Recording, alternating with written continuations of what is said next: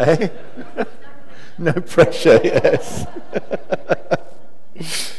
oh, it's, uh, it really is great to, um, to walk through those doors and feel at home and feel um, a real sense of being amongst friends, um, which many of you have become, and uh, a real blessing.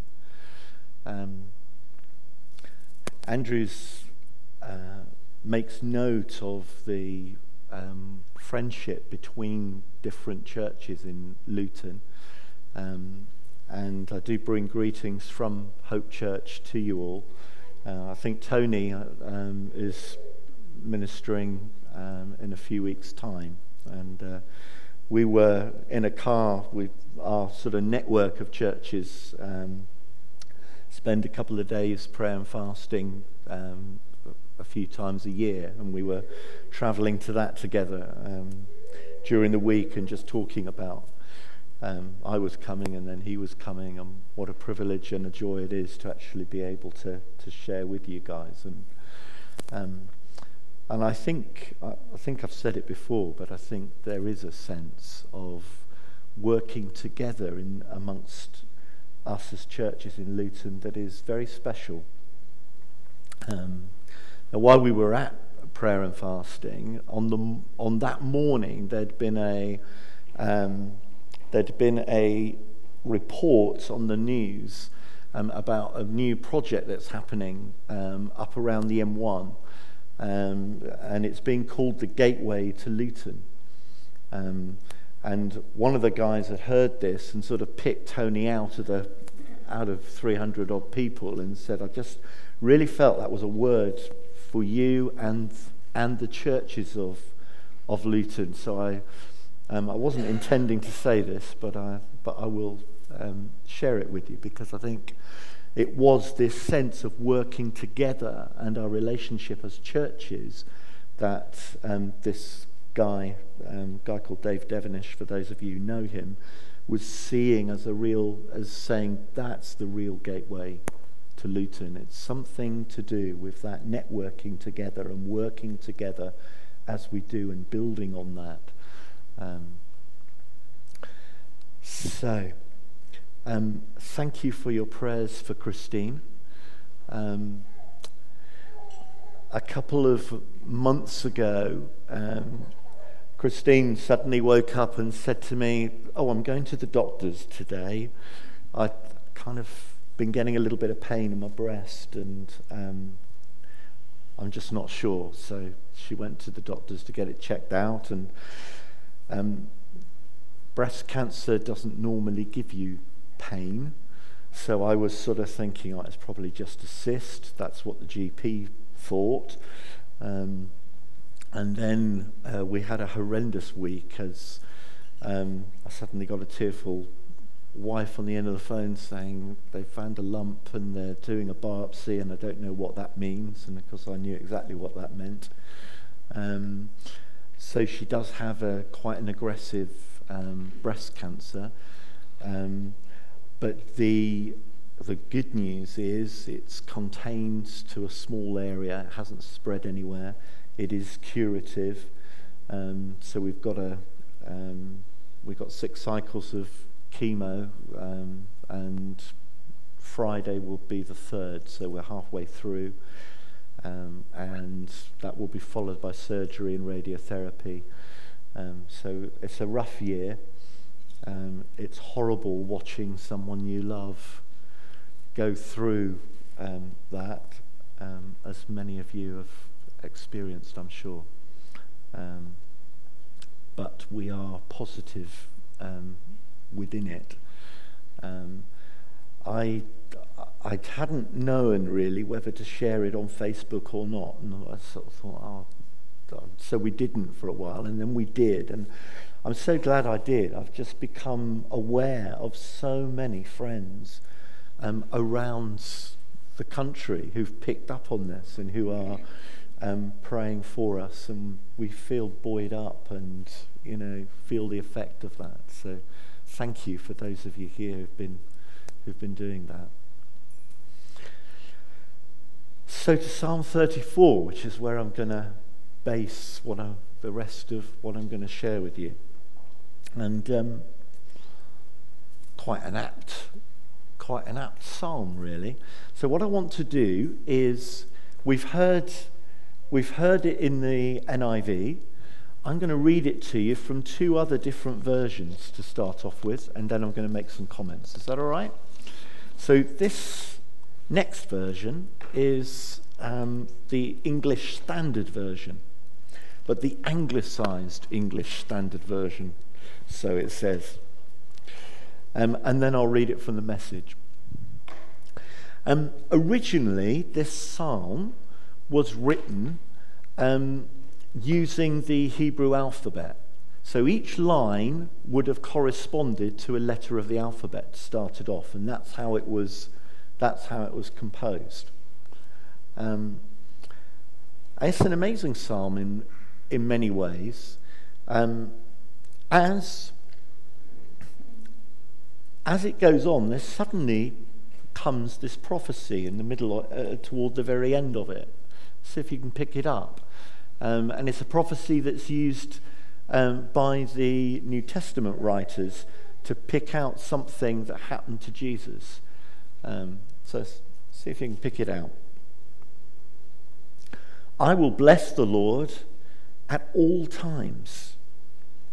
His praise shall continually be in my mouth. My soul makes its boast in the Lord.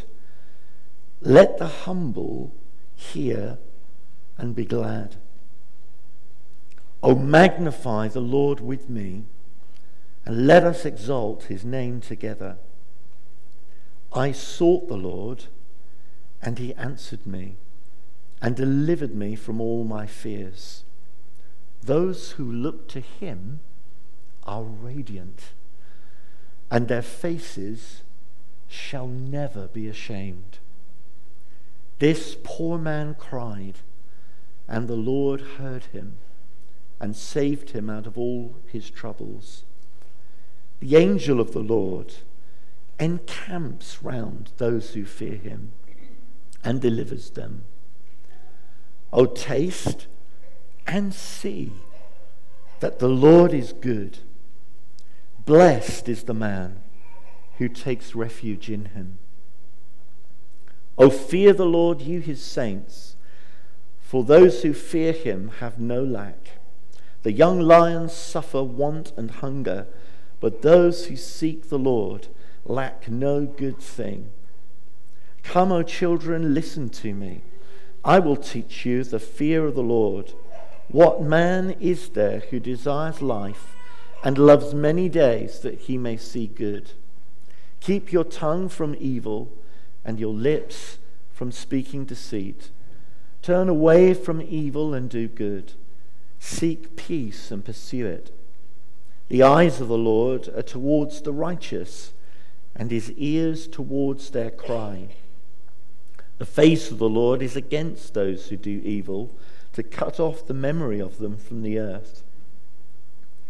When the righteous cry for help, the Lord hears and delivers them out of all their troubles.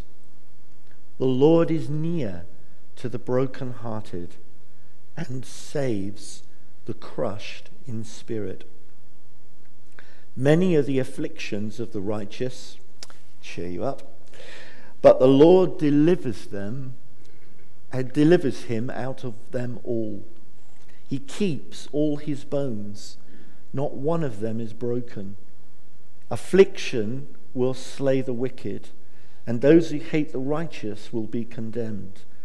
The Lord redeems the life of his servants. None of those who take refuge in him will be condemned. So, this next version is the message. So, Eugene Peterson. Um, I bless God every chance I get. My lungs expand with his praise. I live and breathe God.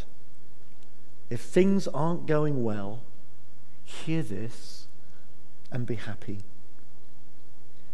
Join me in spreading the news. Together, let's get the word out. God met me more than halfway. He freed me from my anxious fears. Look at him. Give him your warmest smile. Never hide your feelings from him. When I was desperate, I called out, and God got me out of a tight spot. Let me pause there. Many, many years ago, when I met um, Christine, uh, Christine was part of a little house fellowship, and I'd been sent over to work with this house fellowship and um, see whether it would be a um, whether it would become a church or whether they would come and join our church elsewhere. Um, and I always laugh because the long and the short of it was we shut the group down and they joined the main church, but I married, I married the leader's daughter, so that was all right. And Christine's dad is one of the most stubborn men you've ever met in your life. He was absolutely, if he dug his heels in about something, he really did dig them in. Um, and I've been teaching on, on praise and worship one Sunday morning, and, and we'd got to shouting. And, you, you know, shouting's mentioned several times in the Psalms. Well, this really upset Christine's dad. He would never shout. Never.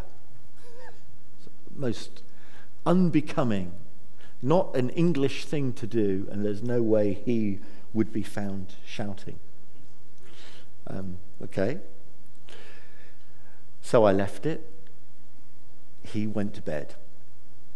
And the following week, when I met him again, he said, um, I had a dream. I was on an island in the sea, and the sea started to come up, and suddenly the sea was up to my knees. And I thought, what's this all about? Then it was up to my waist, and I was getting really frightened in my dream. And then the next thing I know, it was up to my neck. And I suddenly went, God! Help! and God said, Oh, you can shout then.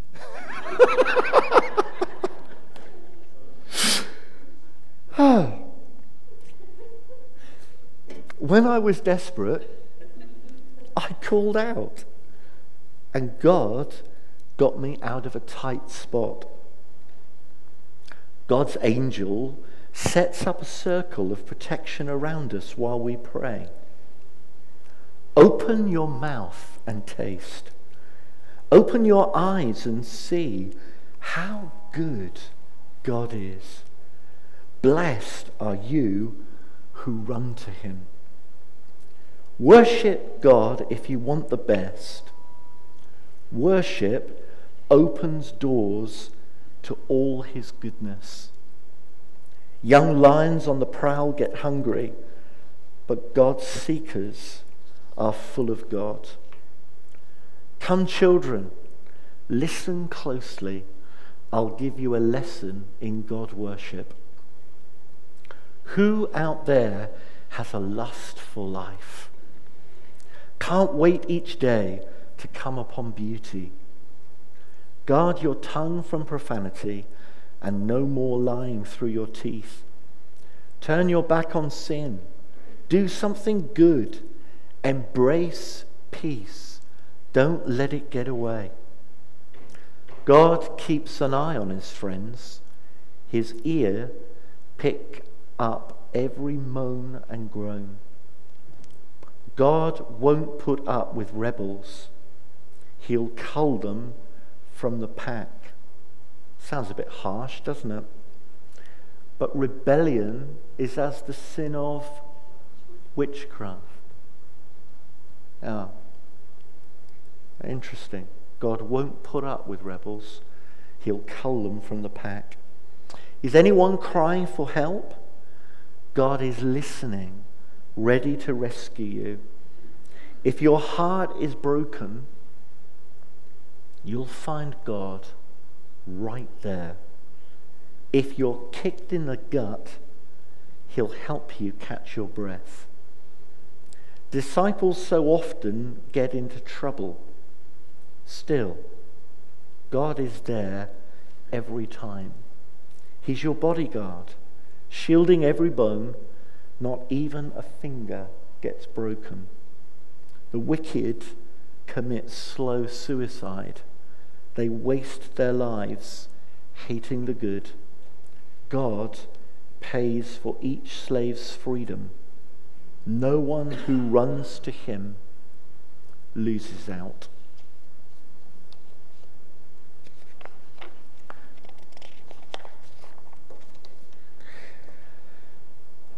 Great psalm, isn't it? Some brilliant things in here. I will extol the Lord at all times. His praise will always be on my lips.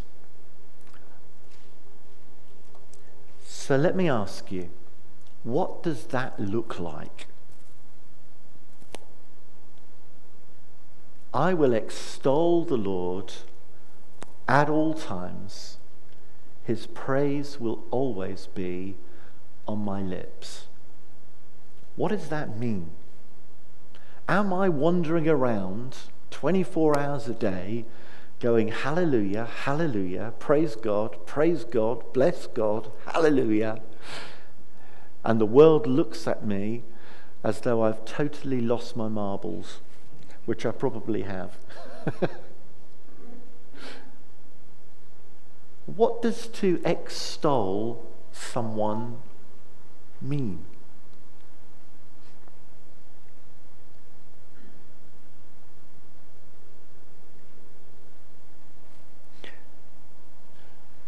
If you look it up, it means, it means to praise, but to praise someone's virtues. This is not running around um, deliberately using religious language that no one understands. This is in your common, everyday language, tongue, and speech, bringing God into the conversation, telling people how great He is, sharing with people what He's done for you, extolling His virtues. He is good. Yeah?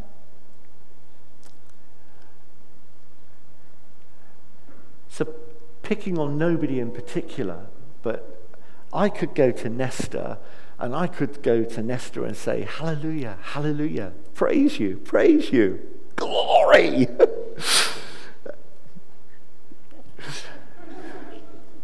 Doesn't do a lot, does it?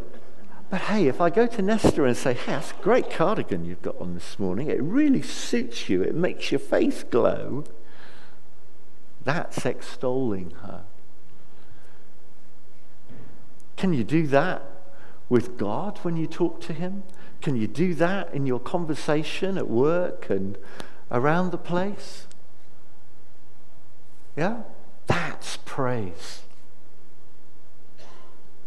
So I will extol the Lord at all times. His praise will always be on my lips. I will glory in the Lord. Let the afflicted hear and rejoice.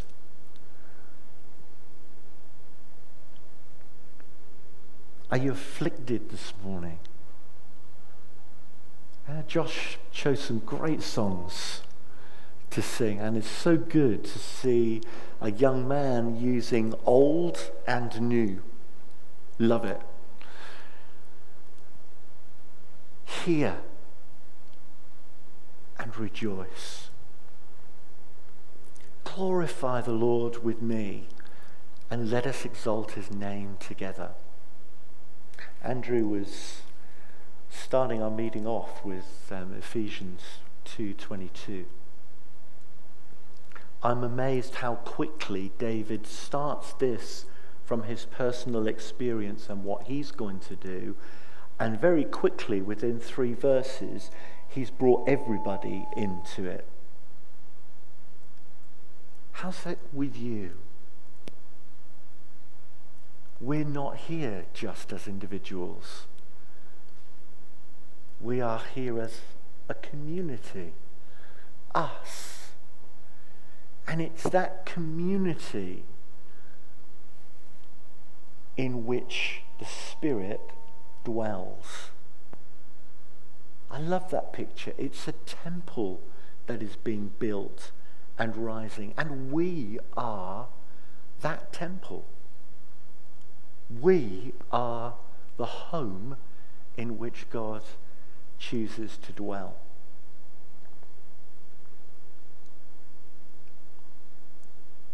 The angel of the Lord encamps around those who fear him and he delivers them. I want you to realize you are never alone. You are never alone. God is with you. But more than God, if, how can you have more than God? yeah? But the angels encamp around us. Angels are God's messengers sent to act on our behalf. Very real. The angel of the Lord encamps around those who fear him and he delivers them. Time is fast moving on. Worship, this temple is the home where God speaks. The home of prophecy is worship. And it's amazing how many of the Psalms have prophetic utterances in them that flow out of that place of worship. So, what's the prophetic word in Psalm 34 that is picked up in the New Testament by the apostles relating to Jesus? Yeah, not one of his bones were broken. If you go to the cross, yeah, they went to break his legs, but instead they put a spear in his side instead. Yeah? But the principle of this here is what I want you to get. When we worship, prophecy flows. It's the home of worship.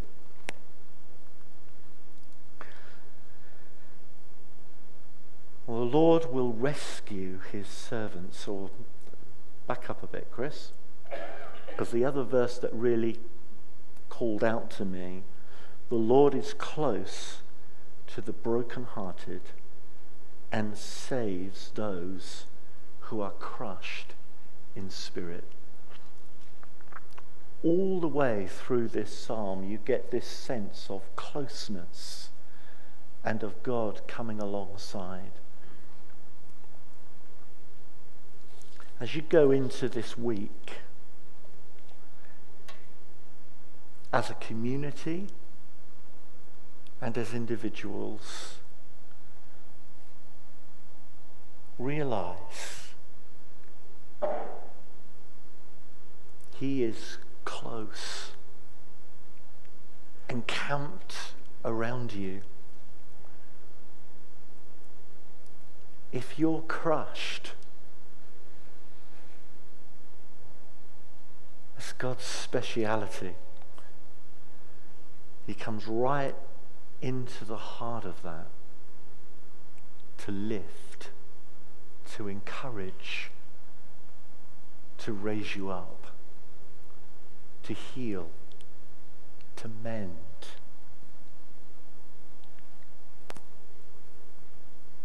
if life is good and we're having a whale of a time, he wants to be part of that. He wants to be part of the celebration. He's not just there when it goes wrong.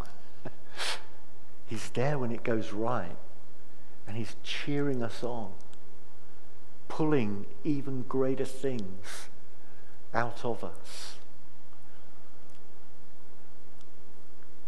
And may God bless you as you go into this week. May you know his presence close to you. May you hear his voice speaking to you. And may you know his face shining upon you. In Jesus' name, amen.